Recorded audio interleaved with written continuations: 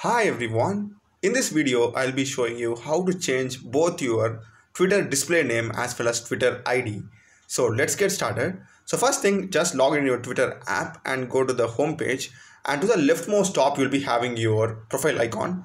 Just click that and here you'll be having option called as profile. Just click here. This will take you to your profile and to the top, you'll be having option called as edit profile. Click this and this will directly give you the access to change your username or display name. So if you want you can just change this to any name and you can just click on save.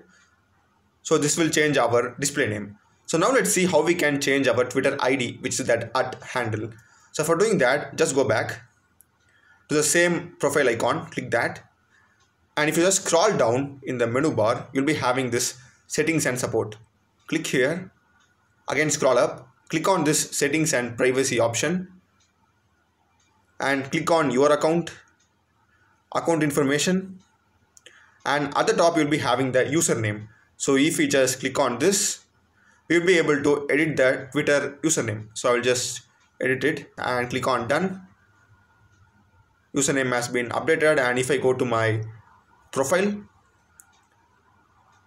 here you can see we have updated our both display name as well as the username so that's the video guys. Do check the playlist of my channel. Done a lot of videos in programming and AI. Subscribe me. Thanks for watching.